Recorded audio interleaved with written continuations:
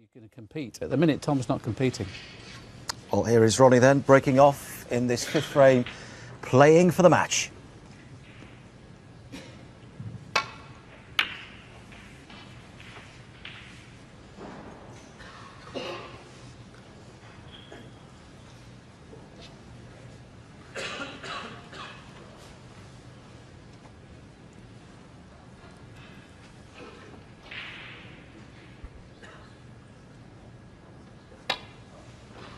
Well, a really strange match has unfolded with the errors and all the talking points. But the frame that Tom Ford won seems like it was a long time ago now. Three in a row for Ronnie.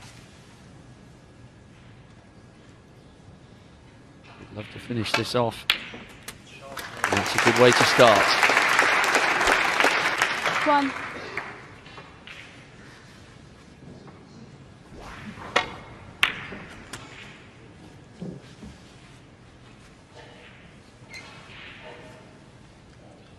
This is more like the Ronnie. Thought was going to turn up, and this is the kind of Ronnie that Tom Ford would have thought was going to turn up from the word go. I can't Six. feel the fact that Ronnie missed so many balls in them first three frames just put Tom Ford off a little bit. Seven. frustrated knowing he's had a real opportunity to beat a world-class player in Ronnie today. Just hasn't taken his chances. Frustrating day at the office.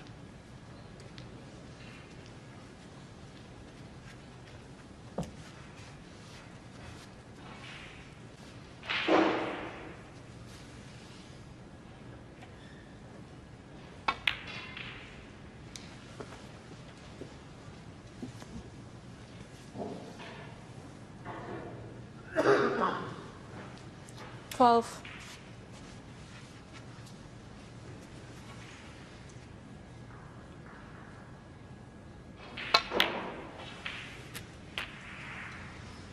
Thirteen.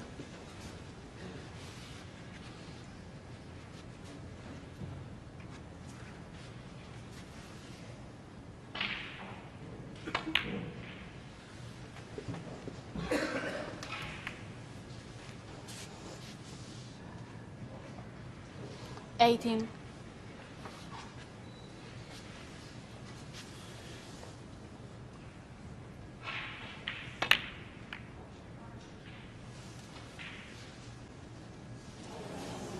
Ronnie Sullivan, 18.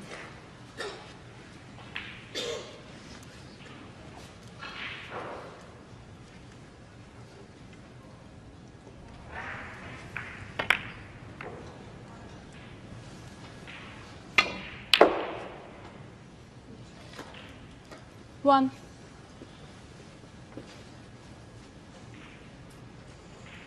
He's got nothing to lose really.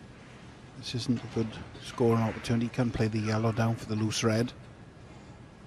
Could go for the much thinner blue onto the pink and split him, but opt in for the yellow.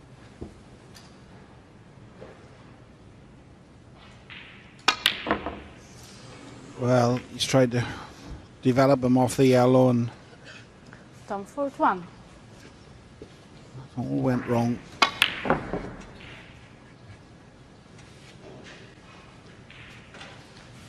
help feel if he's going to play at that pace, he'd had much better value in playing the blue with the cue ball into the pink.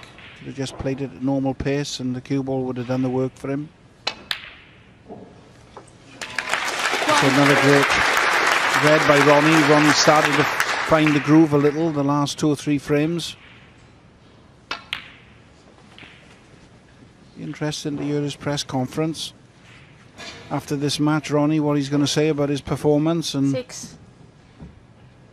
Tom Ford's performance. 7. Interesting to see as well if his interviews are any different to what they were at the uh, Grand Prix up in Preston, because they were quite interesting to say the least. Yes, I, I had a look at that online. The the robot answers. I think Neil Foulds finished that interview by saying, Well, Ronnie, you played a bit like a robot in that match. Not really a lot you can say to a man who's giving you answers pretending to be a robot voice. There's never a dull moment. 13.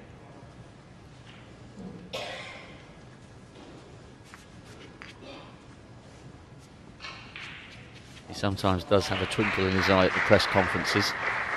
The one he gave after securing that seventh Masters title. It's quite amusing. He had his son Ronnie Jr. there, and 14. all the press gathered round and said, "Oh, can you can your son play? Is he is he a good snooker player?" He gave that classic kind of wink and a smile and said, "No, mate. I've told him it's got to be golf or tennis."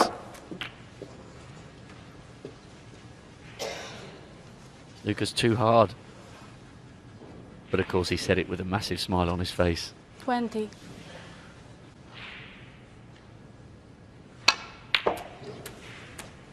Twenty-one.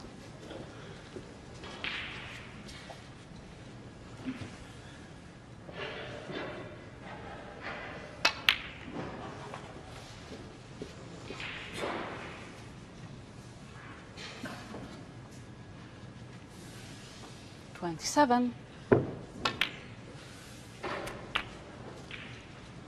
Twenty-eight.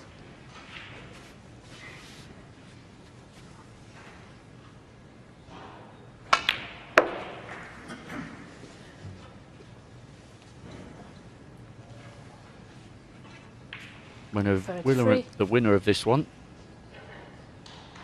face Mark Davis. He beat Li Hang 4 2. Thirty-four.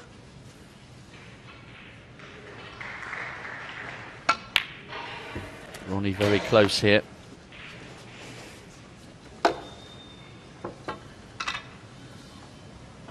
Forty.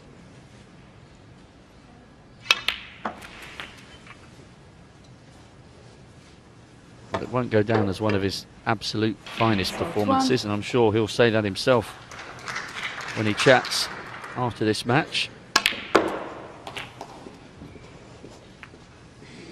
But now, Tom Ford requiring Forty-seven. multiple snookers. And he knows this is all but over.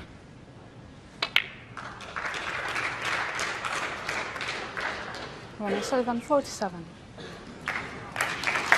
And he decides not to chase it. Only five behind. A real shame there for Tom Ford. Away for Ronnie O'Sullivan. He's through to the second round. Four frames to one.